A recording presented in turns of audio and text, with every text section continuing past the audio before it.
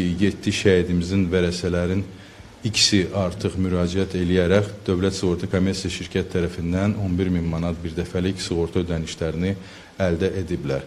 Növbəti mərhələdə də ə, digər hərbiçilərimiz də ə, yaralanmış, ə, xəsarət almış hərbiçilərimiz müraciət eləyərək Dövlət Sığorta Kommersiya Şirkətinə və şəhidlərimizin vərəsələri də müraciət eləyərək öz ödənişlərini əldə edə bilərlər. Vərəsələ şəhidimizin yaxın qohumları, yəni vərəsələ ailə üzvləri, həyat yoldaşı, evladları, sonradan deməli valideynlər və bu insanlar tutaq ki, yoxdularsa, ondan sonra bacı, qardaş və ondan sonra qohumluq dərəcəsini müəyyən etmiş insanlar müraciət eləyərək ala bilirlər sığorta ödənişlərini.